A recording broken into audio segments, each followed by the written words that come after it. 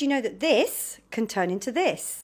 Growing Colour Garden is a project in collaboration with the Design Museum around growing natural dyes. So we've selected certain plants that we're going to, we've planted some from seed and we're going to grow and then hopefully use them and process them to actually dye cloth with.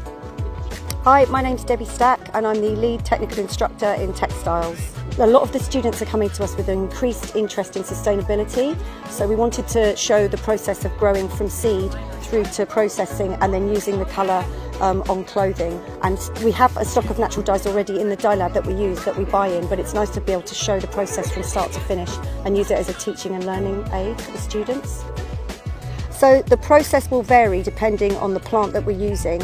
Some of the plants that we are growing uh, rely on the flowers, some of them will rely on the roots. Start with the seed, plant them up in you know small pots. We've been growing them at college on windowsills and then once the plants are big enough we take them out.